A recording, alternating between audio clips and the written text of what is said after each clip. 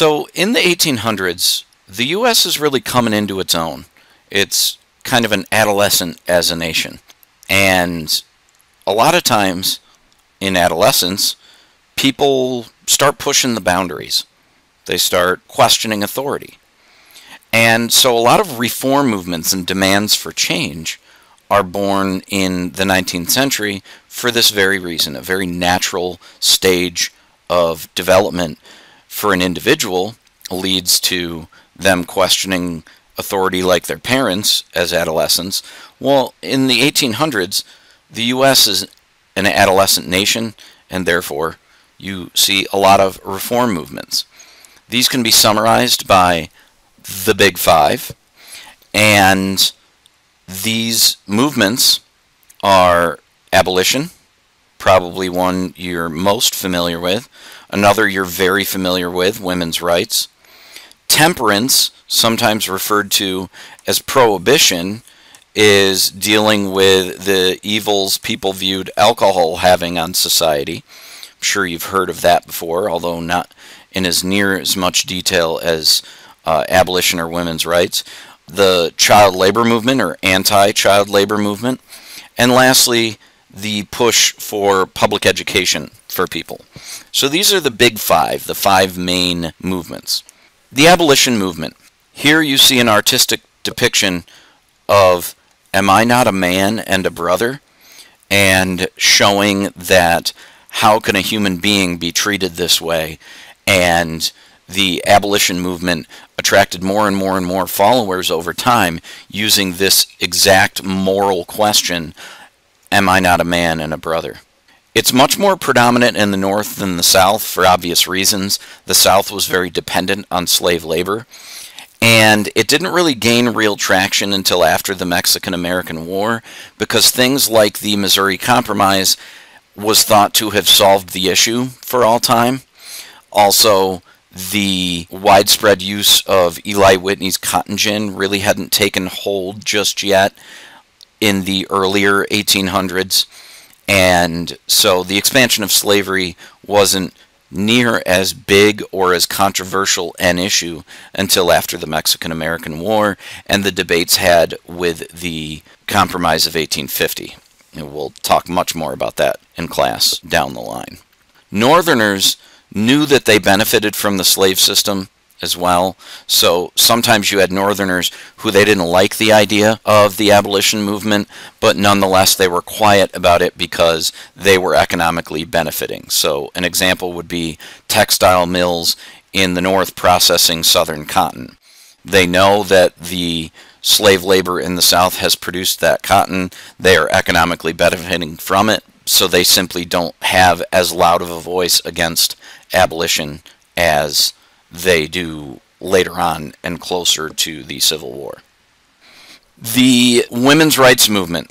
Initially, this is not about voting rights. This is about women having the ability to own their own property, to not have that property transferred from one male in their life to another, such as from father to husband or from brother to husband if their father had passed away. Men really held so much power over women in society that women simply wanted equal legal treatment. And once they achieved some of those things, then they focused much more on voting rights. But initially, it really isn't about voting rights. It becomes that after they achieve some of their initial goals, like not needing to have a male chaperone in order to be out in public. Women could literally not just go for a walk because it was viewed as suspicious. You needed to have a man escorting you. No need for marriage. What if we wanted to live independently for our whole lives and have our own property, which leads into the next bullet point? Or control our own finances and work our own jobs. That's the last bullet.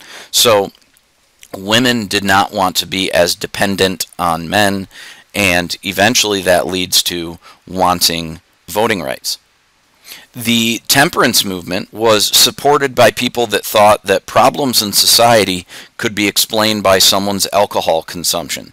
Things like spousal abuse, the deadbeat dad who's never around helping with the kids, the financial squalor of families because the father has gone out and spent all the money at a saloon.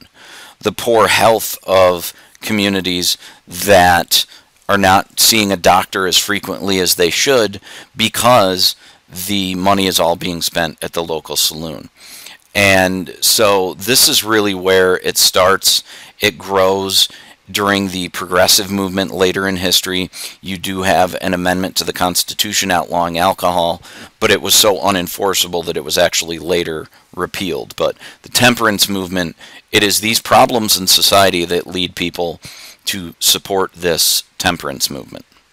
And then the child labor movement, I have no specific notes for you to take, other than people were just fighting for the idea that children were having their childhood taken away from them, being forced to work in factories, or on the right, you see photos of children who were working in coal mines.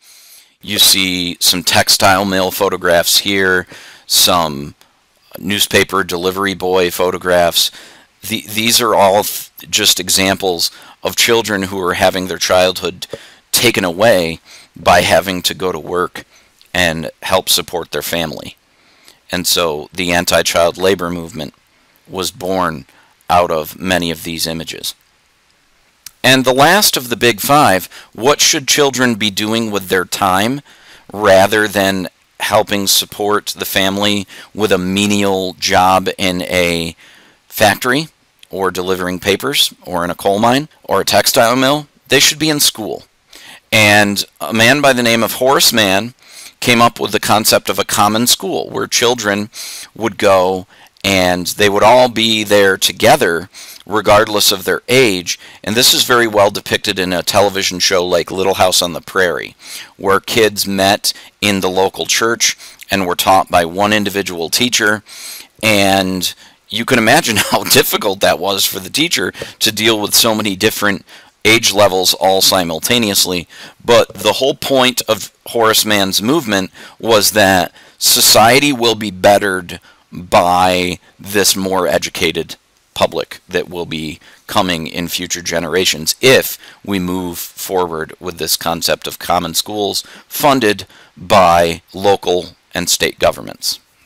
That is the end of the 19th century reform movement presentation. If you have any questions, don't hesitate to reach out. Otherwise, I'll see you in class.